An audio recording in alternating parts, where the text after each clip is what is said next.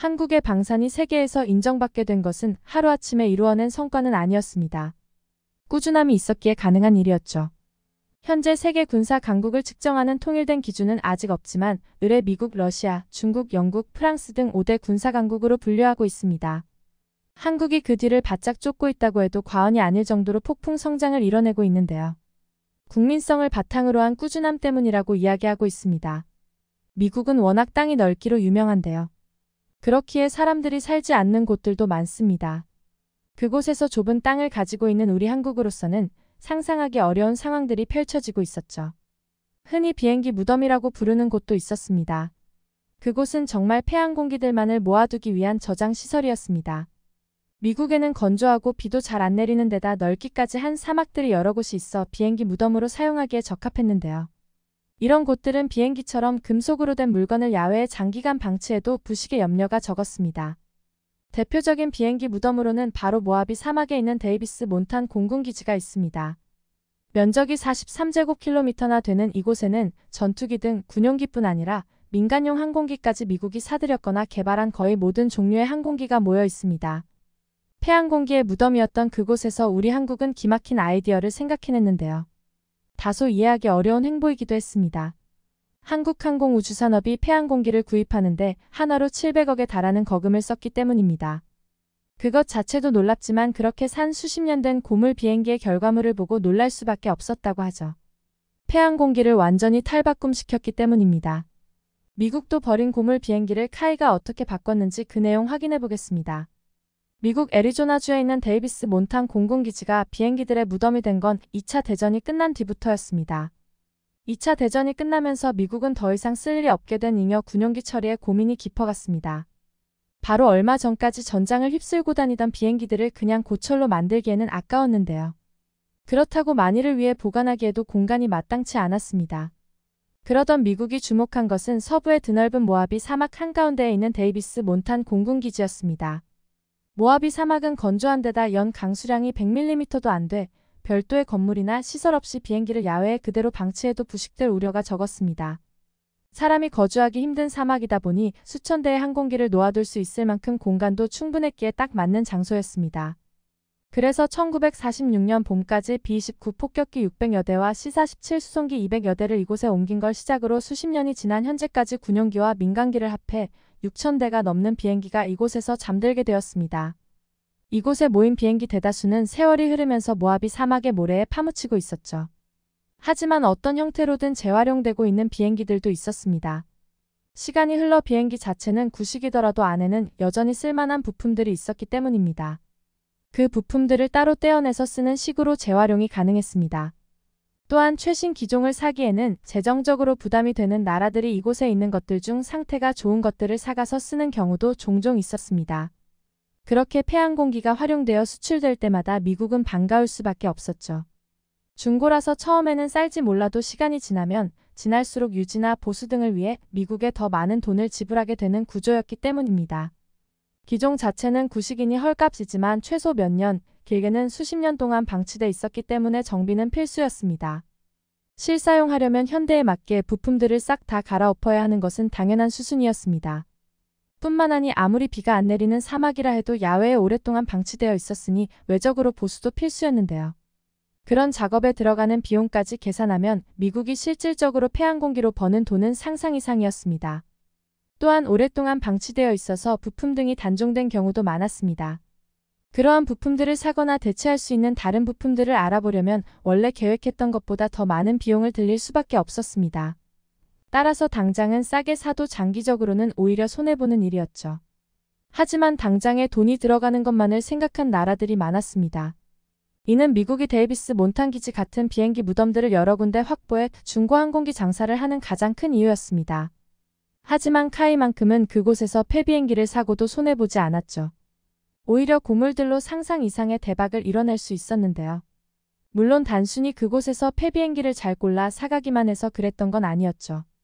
그걸로 마개조를 해 미국도 놀랄 만큼의 성능 향상에 성공한 보기 드문 사례를 만들었기 때문입니다. 그런데 어쩌다가 카이가 비행기 무덤으로 유명한 데이비스 몬탄 기지까지 가 폐비행기를 사게 되었는지 궁금해집니다. 대한민국 해군은 90년대에 당시 한화로 약 6,800억 원에 달하는 비용을 들여 미국 로키드 마틴에서 만든 해상 초계기 P3C를 8대 도입했습니다. 당시 도입된 기체들은 일부 장비가 탑재되지 않은 상태였기에 이들 장비의 탑재에 들어간 예산까지 고려하면 실제 비용은 그보다 더 많이 들어갈 수밖에 없었습니다. 하지만 문제는 그렇게 해서 들여온 P3C만으로 해상 초계 임무를 수행하기에는 무리가 있었죠. 조금만 생각해봐도 알 수 있듯이 겨우 비행기 8대만 갖고 서해와 남해, 동해 이 3면을 모두 샅샅이 감시하는 건 어려운 일이었습니다. 그래서 해군은 P3C를 추가로 도입을 결정할 수밖에 없었는데요. 그러나 곧바로 난관에 부딪히고 말았습니다.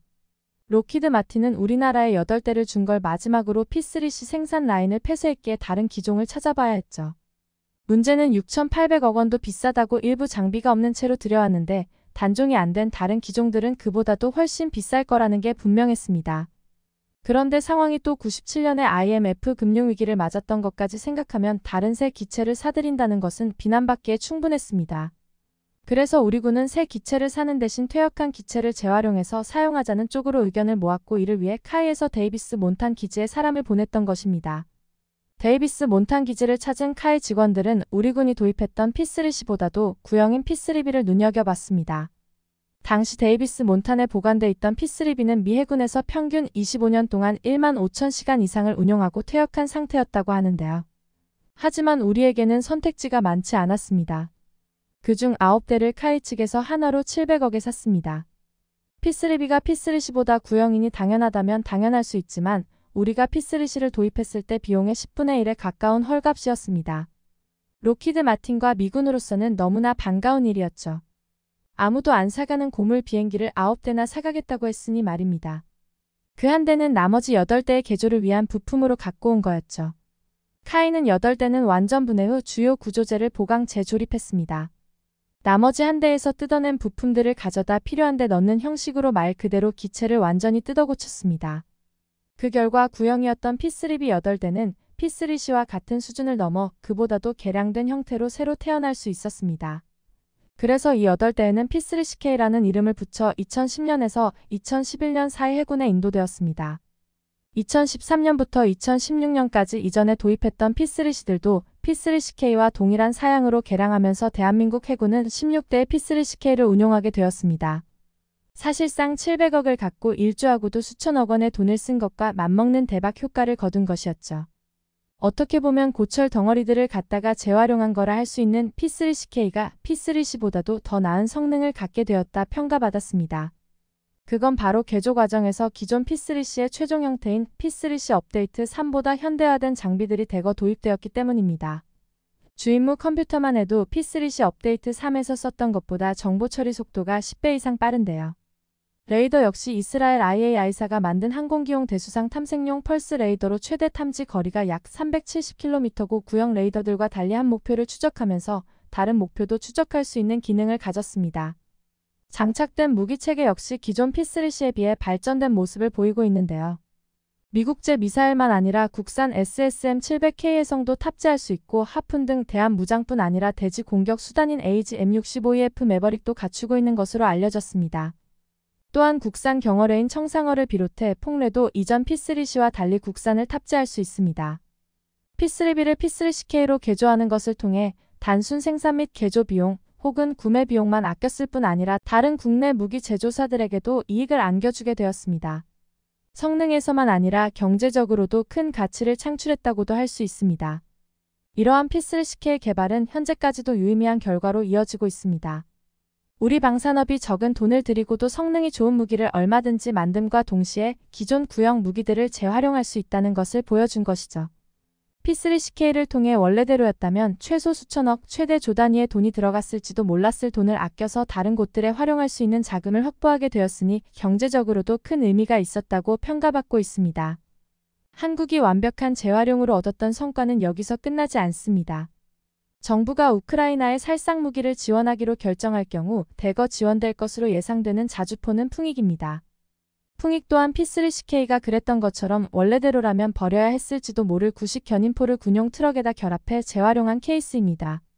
이런 사례들을 보면 한국의 지혜와 기술력이 얼마나 대단한 영향력을 보이고 있는지 다시 한번 확인할 수 있습니다.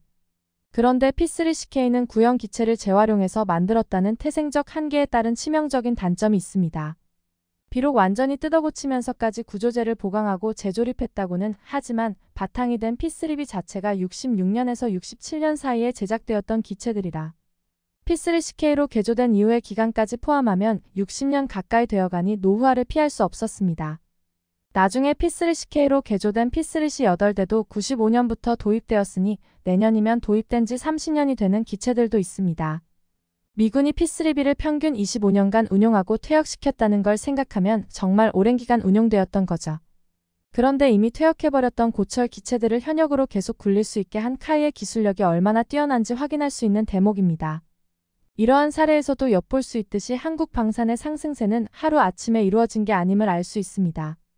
어려운 상황에서도 꾸준히 발전하기 위해 달려온 덕분이라고 할 수 있는데요. 계속해서 좋은 성과 이룰 수 있길 바라는 바입니다. 영상을 끝까지 시청해주셔서 감사합니다. 구독과 좋아요는 영상 제작에 큰 힘이 됩니다.